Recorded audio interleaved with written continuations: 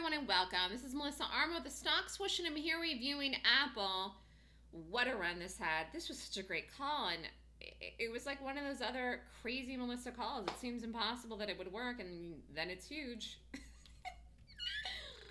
so, anyways, called it here in the 28th in the morning, shot up there and made a brand new all time high. I called the 220 calls expiring September 7th, went over 220 ran up here and and this was a huge run. I mean, the stock was heading clearly to 225, got very very close to 23.49 and look at this today. This is I mean, almost got to 230. Talk about a dream target. 228.26.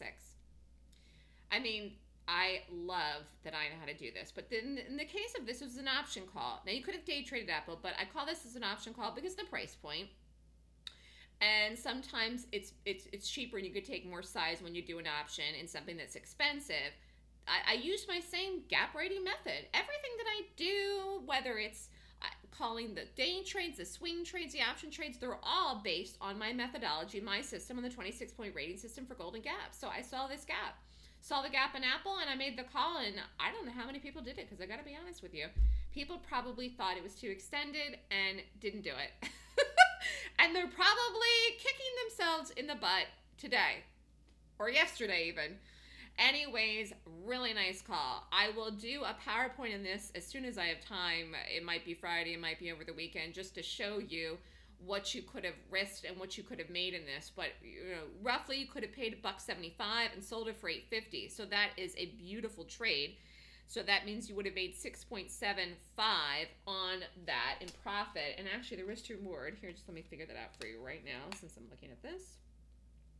Risk to reward in Apple specifically was $1.75.